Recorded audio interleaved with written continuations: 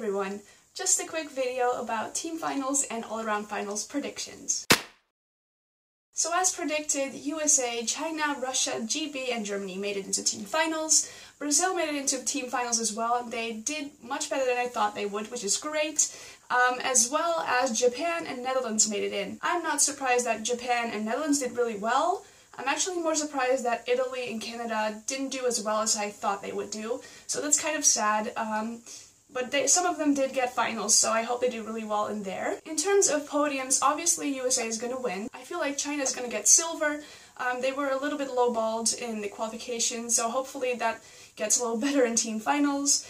And I feel like um, Russia and GB will be battling it out for bronze. Um, both of the teams had issues in qualifications, but I feel like Russia has more um, to go. So I feel like if everyone hits, it would be Russia to win the bronze, but we are talking about Russia, so it's going to be a battle and it's going to be very nerve-wracking. The other teams already outdid themselves in qualification, so I don't think they would challenge for a medal, but I hope they do really well, of course. In terms of the all-around final, um, the top three will most likely come from the top six of qualifications.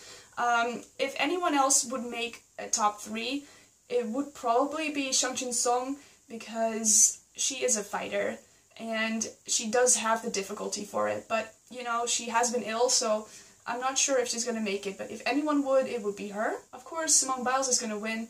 Um, this is a given. Might as well give her a medal now. Um, but the battle for silver will be very interesting. Um, Aly Raisman did a wonderful job in qualifications and got into second place. Um, but I do think that a more realistic score for her would be low 60s or maybe high 59s. And if that's the case, that's going to be very interesting because um, I feel like Aliya Mustafina can actually do about that. Aliya Mustafina had issues in qualifications, as all the Russians did, and she gave away one and a half point by a fall on beam that also made her miss her requirement. So um, if we just add that, she would already get about 559 and a half. And we do know that Aliya always shows up in finals. So I feel like they are going to be battling it out for silver. The other three girls in the top six are Rebeca Andrade, um, Seenatot and Wang Yan.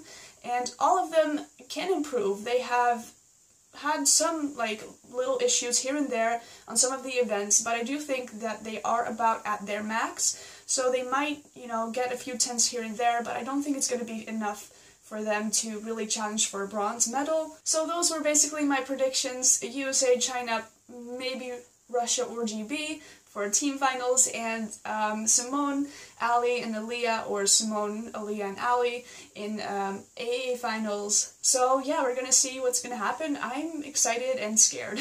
I might make another video for some um, event finals predictions. I'm not sure about that yet, but thank you so much for watching, and until next time.